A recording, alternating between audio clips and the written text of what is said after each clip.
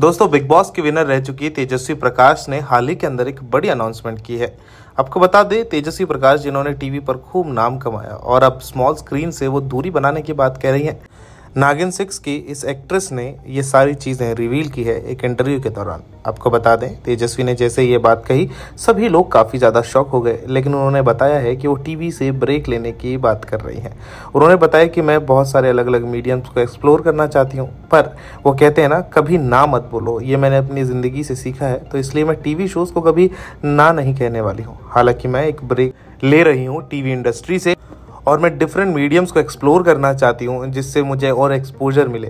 हालाँकि अभी हाल फ़िलहाल के लिए टीवी से दूरी बनाऊँगी। मुझे पता है कि ये मेरे लिए बहुत हार्ड होने वाला है और मुझसे जुड़े लोगों के लिए भी बहुत हार्ड होने वाला है, पर ये इम्पॉसिबल नहीं होगा। तेजस्वी प्रकाश, जो एक नाम है, वो टीवी के मोस्ट पॉपुलर एक्टर्स में से एक नाम है।